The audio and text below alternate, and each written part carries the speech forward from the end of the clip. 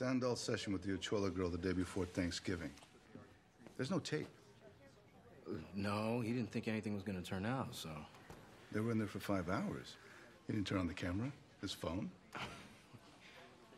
Just the written statement, as far as I know. You want me to grab Bill when he comes in? I mean, he's got a memory like a fucking sponge. No, no, no, thank you. It's not important. I'll just, uh, I'll pick his brain when he comes in.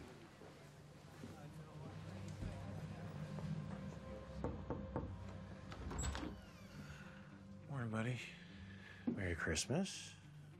You ready to come down and uh, open some presents? Yeah, sorry, I'll be right there. Just don't take too long, though. Your mom made breakfast. Yeah. Hey, Dad.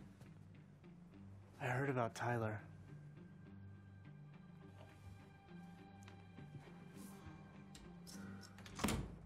What'd you hear?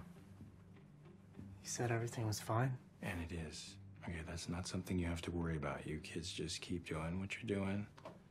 Let's try to enjoy Christmas. Can you do that for me? Winston, can we please allow the maid in here? The dust is biblical. I get one private room per the agreement, which you are currently sort of violating. I heard back from my friend at Choate. They'll take you spring semester. No questions asked. No questions except when are you sending the check, right?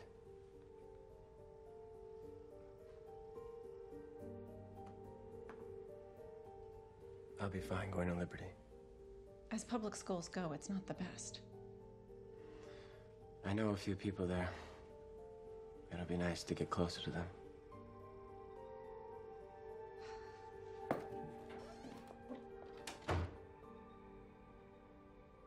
Holy shit!